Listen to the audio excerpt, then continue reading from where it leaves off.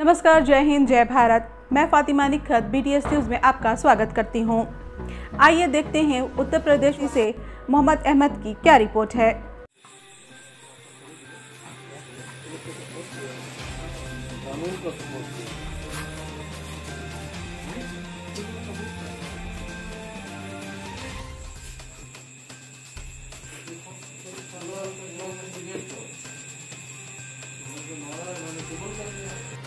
ये सतीश राय जी हैं, जनपद गाजीपुर के तिलवा गाँव की घटना है, थाना रेवतीपुर अंतर्गत। इन्होंने अभी पुलिस को एक सूचना मिली कि ऐसे ऐसे एक लड़की की हत्या करके डेड बॉडी को छुपाना चाहते हैं या जो भी है।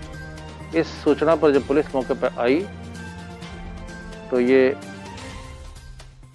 इनकी बेटी हैं जिनको इन्होंने कबूल किया है कि इन्होंने एलसिट रिलेशंस को लेकर के तंग आकर के उसकी, उसके दुपट्टे से गला दबा करके हत्या की है।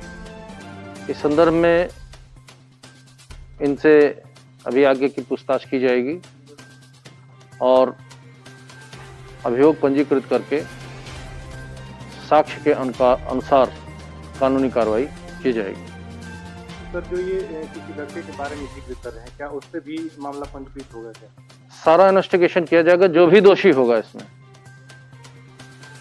उसके खिलाफ कार्रवाई की जाएगी। इसी के साथ ही ये समाचार समाप्त होते हैं। दुआ और उम्मीद यही कि आप जहाँ कहीं भी हों खैर आफियत से हों आपकी हर सू खुशगवार हो और हर खुशगवार सू का अंजाम बखैर हो।